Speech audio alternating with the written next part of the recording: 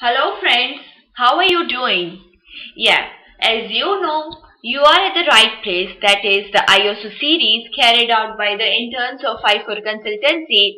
We are going to start with the most relevant topic which gonna give you information about clause number 8 of Information Security Management System Framework which talks about asset management. Now, mapping the requirements of ISMS with the standard that is 27001-2013, the asset management has been divided into three subclauses. Clause number A.8.1 that is responsibilities for the assets. Clause number A.8.2 that is information classification and clause number A.8.3 that is media handling. Of these three, today we are going to talk about clause number A.8.3 that focuses on media handling. So let's go ahead and start with the topic. Clause number A.8.3 that is media handling is divided into 8.3.1 which focuses on management of the removable media 8.3.2 that is disposal of media and 8.3.3 that is physical media transfer.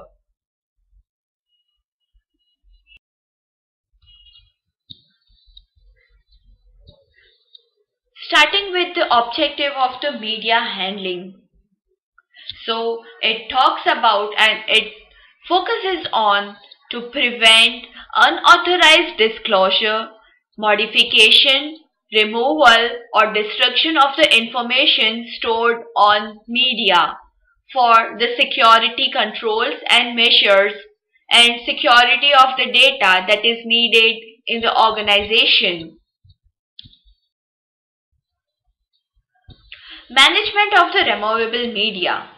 Now the control is given as procedures shall be implemented for the management of removable media in accordance with the classification scheme adopted by the organization.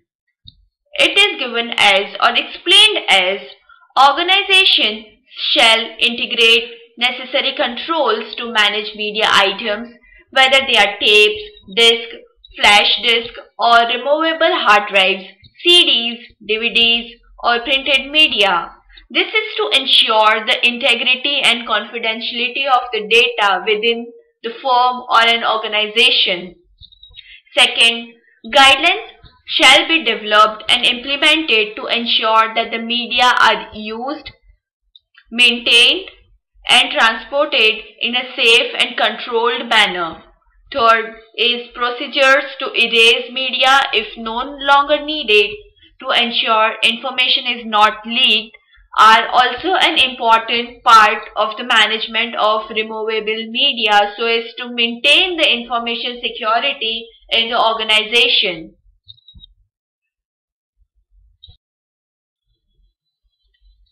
Now let's see A.3.2 that is disposable of media. Control is given as media shall be disposed of securely when no longer required using formal procedures. It talks about procedures for handling classified information should cover the appropriate means of its destruction and disposal. Secondly, it talks about serious breaches of confidentiality occur when apparently worthless disk, tapes or paper files are dumped without proper regard to their destruction. And the most important part, the best way to dispose data is to destroy it. So do not forget to do this for ensuring the information security within the organization. Third, A.8.3.3 that is physical media transfer. the control is given as media containing information shall be protected against unauthorized access, misuse or corruption during the transportation from one place to the another within the network or an organization. This is the reference which I took for the presentation. For more details, you can visit our websites that is www.i4consultancy.com and www.i4technolab.com. Thank you.